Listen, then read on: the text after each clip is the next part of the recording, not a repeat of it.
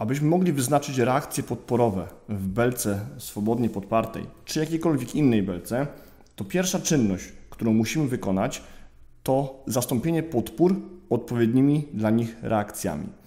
Znamy już przykłady podpór z życia, wiemy, jak one działają w rzeczywistości, dlatego teraz pokażę Wam, w jaki sposób, nie ucząc się tego na pamięć, zastąpić każdą podporę odpowiednimi dla niej reakcjami. Podpór jest wiele rodzajów. Y, trudno byłoby nauczyć się na pamięć y, zestawu reakcji dla każdej podpory, więc warto zrozumieć ideę, w jaki sposób się to robi i wtedy nie musimy uczyć się na pamięć, tylko logicznie rozumując możemy każdą z tych podpór zastąpić odpowiednimi dla niej reakcjami. Pierwszą y, ważną rzeczą, którą musimy sobie omówić, to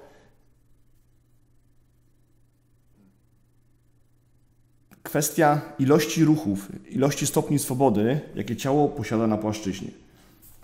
Narysujmy sobie układ płaski.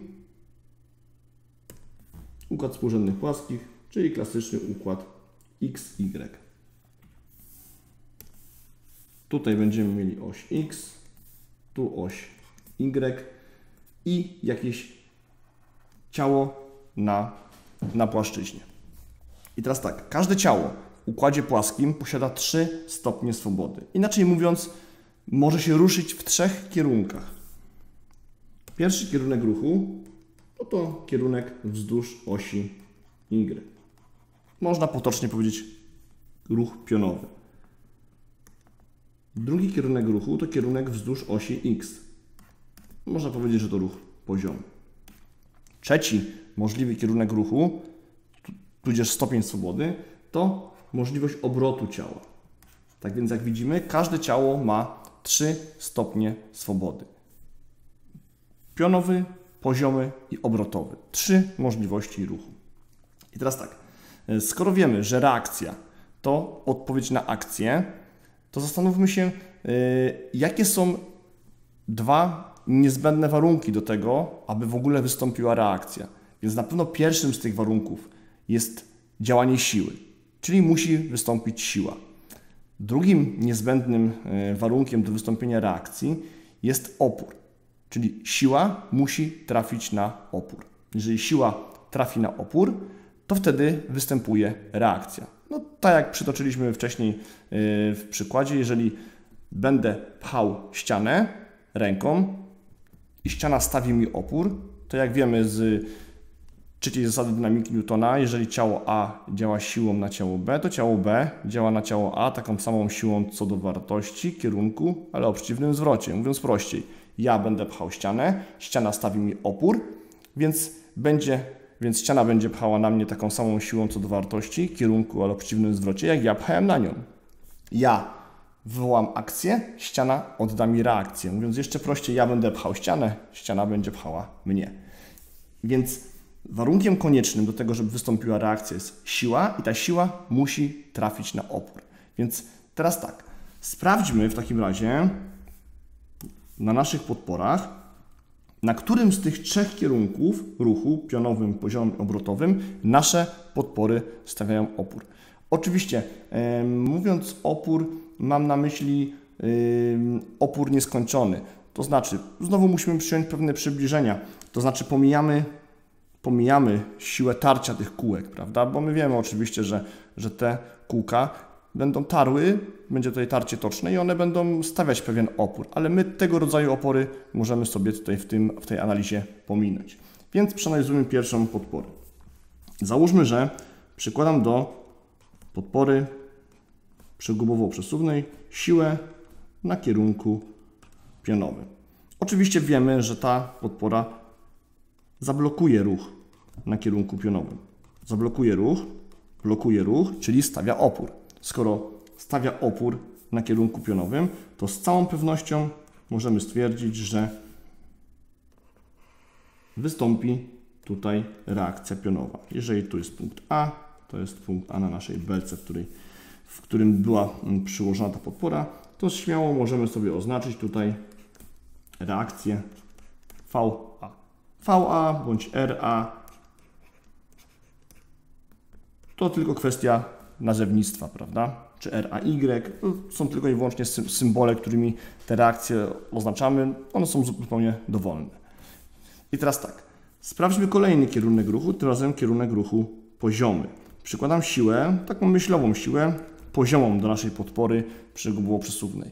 No i widzimy, że w związku z tym, że tutaj występują te nasze rolki, to ta podpora nie będzie stawiać oporu dla ruchu poziomego. Oczywiście pomijamy opory tarcia. Skoro podpora nie stawia oporu dla ruchu poziomego, to na pewno nie wystąpi reakcja, więc reakcji poziomej w tej podporze nie będzie. Idźmy dalej. Został nam jeszcze jeden możliwy y, kierunek ruchu, stopień swobody na mm, płaszczyźnie, czyli y, ruch obrotowy.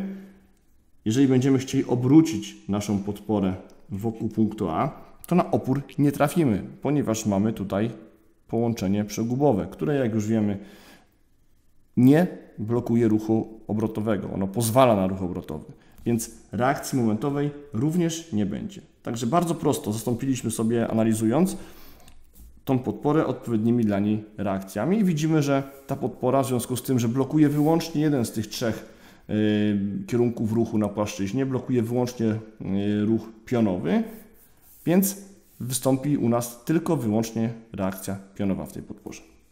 Idźmy dalej. Tak samo przeanalizujmy sobie podporę kolejną, przegubowo nieprzesuwną. Przykładam siłę na kierunku pionowym. Jak widzimy, oczywiście podpora stawia opór, czyli blokuje ten ruch pionowy. Skoro blokuje ruch pionowy, to na pewno w naszym punkcie A, w miejscu, gdzie jest przyróżna podpora, wystąpi reakcja pionowa. V, A. Idźmy dalej. Tym razem przyłożę siłę na kierunku poziomym. Jak widzimy, ta podpora kółek nie ma, więc ona nie pozwoli nam na ruch poziomy, więc będzie go blokować, będzie stawiać opór dla ruchu poziomego. W związku z tym na pewno, skoro siła trafia na opór, to będzie reakcja pozioma HA. Oczywiście yy, często pytacie, yy, czy przyjmowanie zwrotów tych reakcji yy, jest ważne. Nie, zwrot nie jest ważny. Ważny jest kierunek, czyli prosta, na której leży wektor. Ja równie dobrze mogę przyjąć sobie te reakcje w sposób taki, że zwroty wektorów będą przeciwne i nie ma to na etapie liczenia żadnego znaczenia. To obliczenia, późniejsze obliczenia reakcji pokażą nam, czy założony przez nas zwrot był zwrotem właściwym, czy niewłaściwym. Idźmy dalej, podpora spornikowa. Tu jak widzimy przykładem podpory wspornikowej może być balkon, czyli coś, co jest na stałe utwierdzone, na przykład w ścianie. Więc teraz tak, to samo zrobię, to taką samą analizę przeprowadzę dla balkonu. Przyłożę sobie siłę pionową. No oczywiście wiemy, że balkon, ta podpora spornikowa stawia opór dla, dla ruchu pionowego, nie pozwoli nam na ruch pionowy, więc na pewno wystąpi tutaj reakcja na kierunku pionowym.